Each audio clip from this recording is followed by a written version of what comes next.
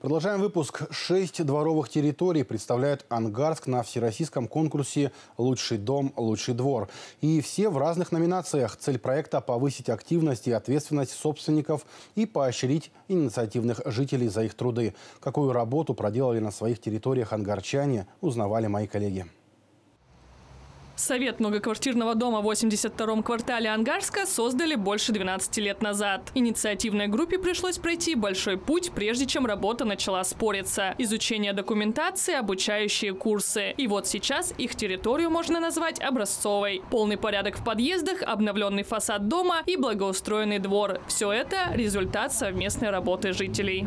Совет дома – это очень важно. Это это самый такой орган влиятельный в многоквартирном доме, потому что если совет дома выстраивает правильный конструктивный диалог с управляющей компанией, на доме будет сделано все.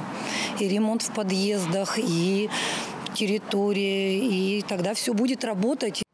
Это двор 88-го квартала. Здесь жильцы своими силами построили детскую площадку и привели в порядок дворовую территорию. Летом они высаживают цветы и устраивают субботники, а также проводят праздники. С каждым годом их двор становится уютнее и краше. Детям нужна была площадка.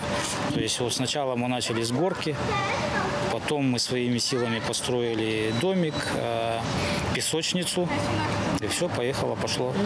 Жители этих дворов приняли участие во всероссийском конкурсе «Лучший дом, лучший двор» и вышли на федеральный уровень. Они представили свои территории в разных номинациях. Отдать свой голос за лучших, по вашему мнению, участников можно на официальном сайте конкурса. Победители определят 5 сентября. Наталья Хмелева, Кристина Пермякова, Роман Буйнов. Местное время.